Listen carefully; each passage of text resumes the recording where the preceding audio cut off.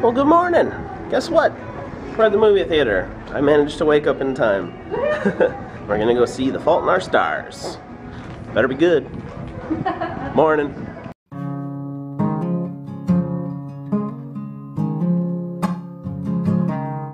So we're back from the movies. We watched a movie. We watched Fault in Our Stars.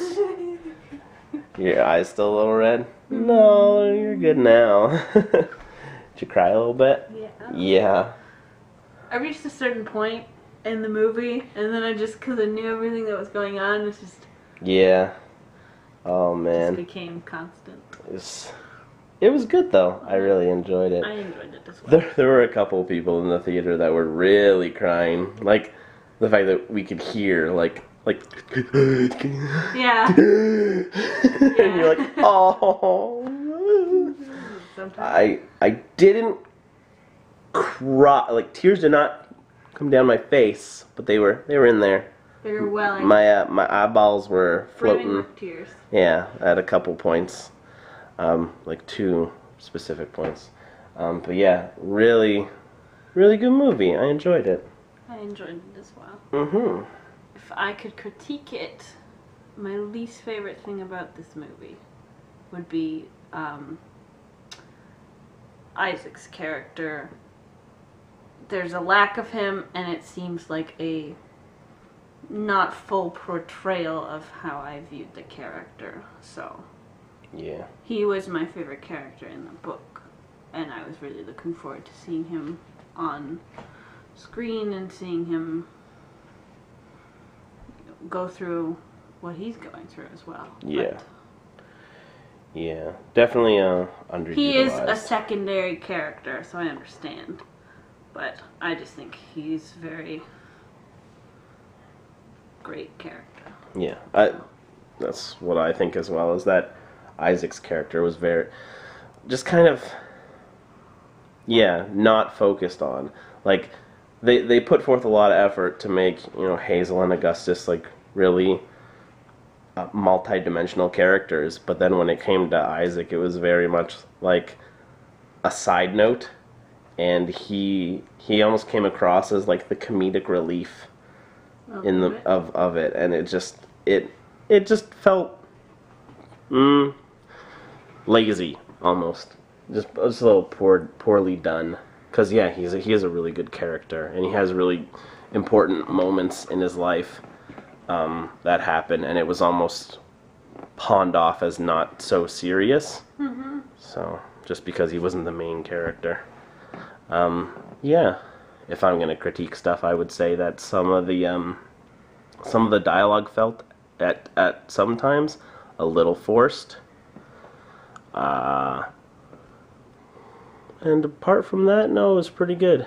Like the score is really good, and and overall it was well acted. Apart from yeah, like I said, sometimes the the, the dialogue felt like you could feel the script, and maybe that just comes from reading the book and like really recognizing like okay, that's like a direct word for word quote thing, and it, especially when it was stuff like that, you're just kind of like you, you felt that it was you know you, you could see you could see like oh yeah this was a book and now it's a movie and they're reading the script and this is what they did and blah blah blah instead of like really just kind of feeling it in the moment. Um and yeah other other than that no it was it was pretty well done. Um really one of my favorite scenes mildly spoilery if you haven't seen the movie and if you haven't read the book and and to be completely honest i don't even remember if it's probably in the book is it um, the Anne Frank house Yeah, that's in the book? I, it's been so long since I read the book, and I don't I don't remember books like you do. You can pull out the randomest of details. Um, but yeah, the the uh, the part where they visit the Anne Frank house is just that part in the movie was so well done, really well acted. Um, scripting was awesome, and the score was just spot on. It was very uh, very well directed and uh, shot. Um, scene, I, it was Oh, crazy good. I really, really liked the way they did the the text messaging and any text that they were reading. Yeah. Uh, that was that was like because you never know how to do that in like it's yeah. movies and shows and stuff. hmm Really, really good. Yeah. It's it's kind of like um Sherlock. like yeah, I was gonna say I'm like it's like how they do it in Sherlock. which yeah. is which is how you need to do it. 'cause Mhm. you can't go zoom in on a phone or you can't have somebody read it or Yeah, it can be tough sometimes to do- to like have people, cause no, cause no, no, nobody like really looks at their phone and reads it out loud what their texts are, and then reads says out loud as they're texting their response. Yeah, it's which just- is what people do in a lot of movies and shows and stuff. It's just like the way that they did it in this movie was yeah, it was good. It's like it's maybe not like it's not like the best way of doing it, but it's pro- it's probably the best we can think of right now of how to do it. Yeah, yeah i really liked it Yeah. it was good it was cool. Yeah it was Yeah. a very very good movie. Twas. Twas. Good, good book, good movie, good, good, good cry. Good cry. Good, cra- good. Well up for me. Yeah, I had a I had a pocket full of uh, cough drops because I just woke up this morning coughing. and I'm like, oh no, I'm gonna be the most annoying person in the movie theater. but you weren't But I wasn't. Yeah, there was en- enough other annoying people. Yeah, I didn't really cough. I coughed like twice, kind of near the end, because I had been constantly taking cough drops throughout the whole movie. That like kind of near the end, I was like, I'm breathing funny. I should probably not be, you know, downing these cough drops like candy. Yeah. Oh man, the one lady that was sitting like a couple seats over from Lydia was checking her like her bank like she was calling her bank, like the automatic bank service, during a pretty important part of the movie. It's like during like near the end, yeah and I was like, if I if if, if I didn't have to reach over Lydia, like like lean around Lydia to like yell at her, I think I would have, but I didn't want to disrupt Lydia, who maybe didn't notice. So I was like, "Oh, lady, like like really, really, you gotta you you need to check your bank account right now right now. You can't wait. Like there's probably like 15 minutes left in the movie. Uh, but yeah. Other than that, as well, good movie. I'm glad we went and saw it. yeah it was wonderful i loved it very much You okay? Okay.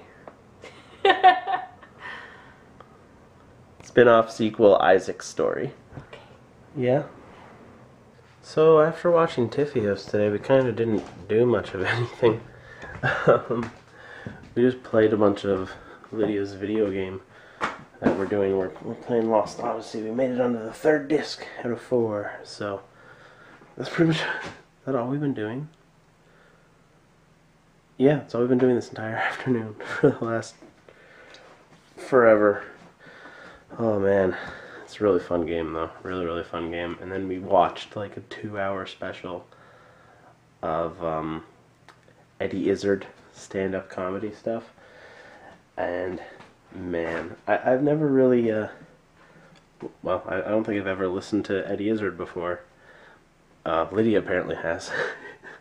Because she was, she, there was a couple times where she was laughing like before the joke because she like remembered it. Um, but yeah, no, it was really, it was really funny. I liked it. But I just kind of been sitting here playing video games all day. Uh, and now I'm kind of a little sleepy. But yeah, Fault in Our Stars. I enjoyed it. Um, I did remember one more problem that I had with the movie. Um, but it's super spoilery, so maybe I won't say it. Okay, I, I will say it. I'll say it, but I'm just saying if you you care about spoilers for The Fault in Our Stars book slash movie, just like don't watch the rest of this video. It, there's probably like a minute left in the video. Just don't watch the rest of the video. Okay, there, good. Okay. so here's the problem that I had. Uh, one of the other problems that I had.